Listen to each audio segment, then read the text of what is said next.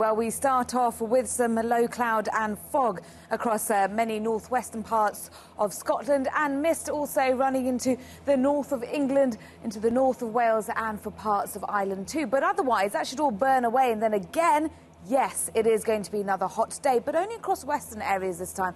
To the east, it will still be very warm, believe me, but temperatures will be lower in comparison to western areas, and that's because of a keen northeasterly breeze that will take the edge off those temperatures coming in off the North Sea, particularly around the southeast of England, especially so around the north of Kent, I think, for today. But otherwise, it's going to be dry and sunny for today.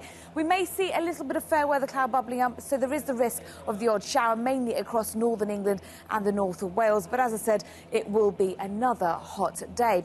As we head into this evening and tonight, it's going to be dry with long clear spells, but eastern areas will see low cloud rolling in off the North Sea with a little bit of drizzle.